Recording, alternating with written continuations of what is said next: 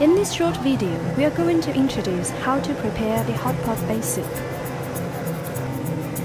Two kinds of chilies in a base. The new generation and the small chili are cooked separately in water for the preparation.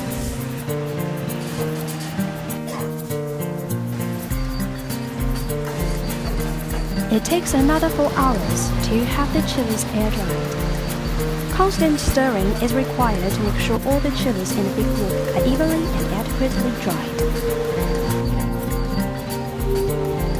Every chef has his own formula for the choice and amount of spices, which is kept as a secret. The peppercorns used in the hot pot are introduced from Maoxian County in Aba Tibetan Qiang Prefecture in northwestern Sichuan. Then, the two types of chilies are mixed up and ground. The ground chilies are cooked in hot oil and mixed with other spices. Then put into the base, usually made of the beef or mutton stock. Hot pot is not only a local delicacy, but also serves as a medium for social gatherings. Come to Chengdu and enjoy the authentic hot pot.